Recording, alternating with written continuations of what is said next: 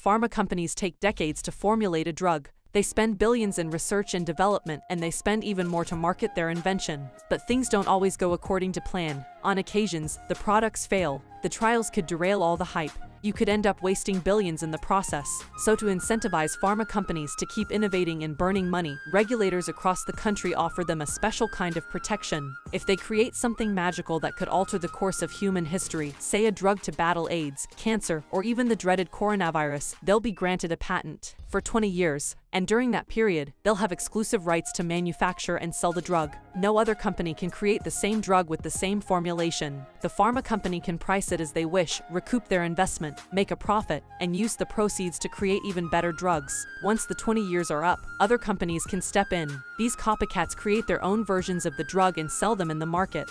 They're called generics. The competition heats up and it drives drug prices downwards. It becomes more affordable, and well, the cycle repeats. Or does it? You see, once the pharma companies get the sweet taste of success, they just can't get enough of it. Also, they really don't know when they'll chance on the next blockbuster drug. So they think, how can I continue to squeeze more out of my current portfolio of patented drugs? And they come up with an idea. They decide to make a few minor tweaks to the formulation. They might replace compound X with compound Y. The difference might be trivial, but they'll claim this is a breakthrough. They'll say the drug is 25% more effective now, that it can save more lives. They go back to the patent office, and they'll do this maybe a year before the current patent on the drug is due to expire. They'll file another patent and ask for an extension. They tell the patent officers that the innovation must be protected because they put their blood, sweat, and tears into it. The pharma company hopes they can continue to milk the drug for all it's worth and keep the patent for a good 39 years. This, folks, is called the evergreening of patents, when a pharma company uses a small tweak to keep its patent monopoly,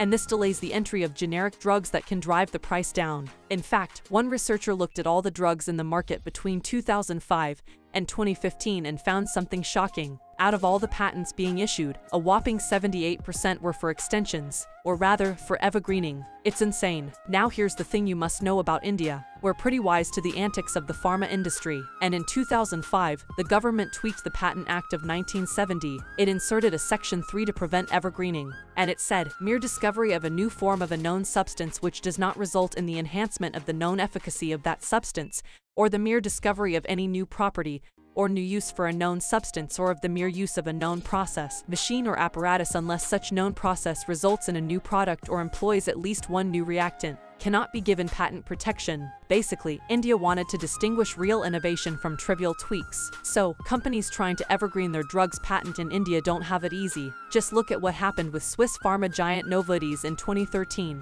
Novartis tried to get a patent for a new version of its cancer drug Gleevec, Gleevec and said that with the tweaks they made, the drug could be more easily absorbed into the bloodstream. It could more easily save lives. But the Indian Patent Office denied the request. And when Novartis went to the courts, India's Supreme Court put its foot down too. It cited Section 3 and said, sorry, here's a 112-page order just to say no. Hold on Finshots, you were meant to talk about the hurdle in the India-UK Free Trade Agreement dot dot dot what's going on. Yes, yes, we're getting to that. But we had to give you all this background first. So, India and the UK are hashing out an FTA and it has been in the works for a while now. It's expected to facilitate trade between the two countries, remove tariffs and stuff, but it seems there's something in the draft about India's patent laws too. A leaked excerpt revealed that the UK wants India to relax its strict evergreening laws. It wants leeway for British pharma companies, and apparently, it says that both India and the UK shall not require a patent applicant to prove enhanced efficacy, in complete contrast to the path-breaking Section 3. It'll allow pharma companies to evergreen their patents. It'll keep drug prices sky high and help pharma giants to mint more money. And worse, it'll hamper the entry of generics. And don't forget, India is the generic king of the world. 20% of the global supply comes from us. It's India-made generic drugs that are lifesavers in low and middle income countries. And if we dilute our patent laws, it can hinder the production of generics. And this could have unintended consequences across the globe. That's the problem everyone's pointing out. But why would Britain enforce such a clause? Well, obviously one would think that this would benefit pharma companies in Britain. But ever since the leaked documents hit the public domain, there seems to be a concerted effort from British officials to distance themselves from the controversy altogether. And responding to a query from Livemint, a British spokesperson noted that they wouldn't introduce provisions that would hurt the interest of either country, despite the fact that officials rarely comment on such matters. And yes, this also hurts the United Kingdom by the way. The NHS, Britain's public healthcare system system relies heavily on cheap generics imported from India. But if we were to dilute patent laws, it could have a massive impact on health outcomes in both countries. So hopefully, this clause doesn't make it into the final agreement.